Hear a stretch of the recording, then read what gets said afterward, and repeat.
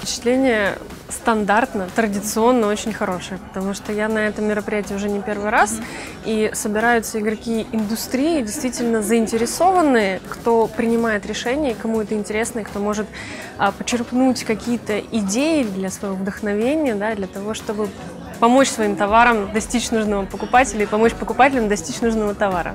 У нас реклама на каждом шагу, на каждом пикселе нашего телефона, экрана, да, а у нас реклама везде, транспорте, на улице, мы едем на машине, у нас реклама по радио, да. И сейчас тенденция к тому, чтобы реклама была правильной, таргетированной и именно о том, что нужно, что еще не куплено. Поэтому, интерпретируя вот эти цифры, мы говорим о том, что сейчас просто есть, скажем, ну, некоторый негатив к рекламе. Ее хотели бы избегать. Три игрока. Это детские магазины. Какие? Детский мир, кораблик и... Класс, здорово. Вот эти вот три игрока делают 40% бизнеса. 20% это всякие ленты Ашаны и прочее. Порядка 10-15% это дискаунтеры.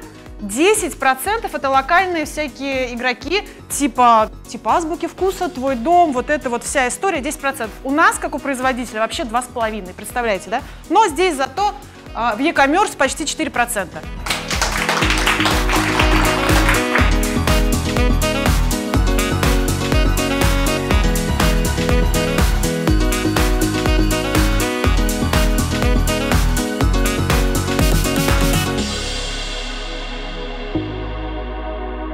Bye.